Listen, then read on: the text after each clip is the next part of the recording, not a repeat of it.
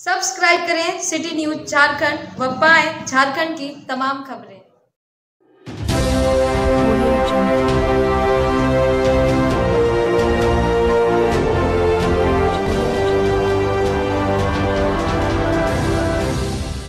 लातेहार ज़िले के बालूमाथ प्रखंड स्थित तसतबार ग्राम में करीब कई दिनों से लगातार हाथियों का आतंक छाया हुआ है, जिससे ग्रामीण काफ़ी भयभीत हैं। वहीं सुबह आज चार बजे हाथियों के झुंड ने कई किसानों के लगे टमाटर की फ़सल को नष्ट कर दिया। वहीं ग्रामीणों के अनुसार बीती रात्रि दर्जनों की संख्या में पहुँचे हाथियों ने टमाटर की फ़सल को पैरों से रौन डाला, जिससे लाखों रुपए का नुकसान हो गया। साथ ही इसकी शिकायत ग्रामीणों ने कई बार विभाग से की। बावजूद वन विभाग की टीम हाथियों को भगाने में नाकाम रही, जिस कारण हाथी प्रतिदिन इस खेती से होकर गुजरते हैं। वहीं किसानों ने वन विभाग से हुई नुकसान की उचित मुआवजे की मांग की है। बालूमाथ से पंकज सिन्हा की रिपोर्ट। ये अभी का तो ताज़ा घटना है, लेकिन हम समझते हैं कि दो वर्ष से इस क्षेत्र में हाथियों का आतंक पर्याप्त है इस क्षेत्र में, और इससे गरीब किसान का काफ़ी नुकसान हो रहा है।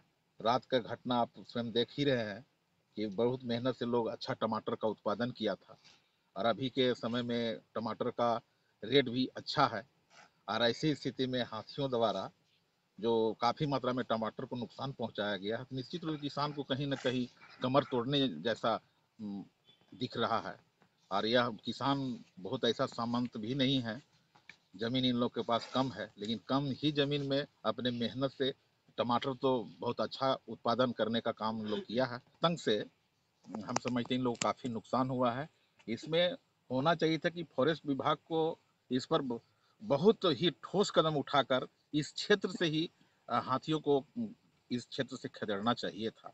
लेकिन ऐसा बराबर प्लानिंग होता है, कभी पेपर मीडिया के माध्यम से हम लोग को जानकारी मिलता है कि इस तरह का बाहर से टीम बुलाया गया है, इस अबर इस बार हाथी को इस क्षेत्र से निकाल दिया जाएगा। लेकिन ऐसा नमूनन हो नहीं पा रहा है, भी गंवाना पड़ गया है और फ़सल के लिए इनका घटना है। लेकिन पर सप्ताह में, पर दस दिन में कहीं ना कहीं किसी न किसी गाँव में काफ़ी नुकसान पहुँचाया जा रहा है। हाँ, अंदर से टूट जाएगा कि हम समझते हैं कि खेती करना ही सोचेगा ही नहीं कि हम खेती में पूंजी फंसाएँ। कि चौदह हाथी यहाँ पर पहुँचे थे और उसका निशान भी दिख रहा है।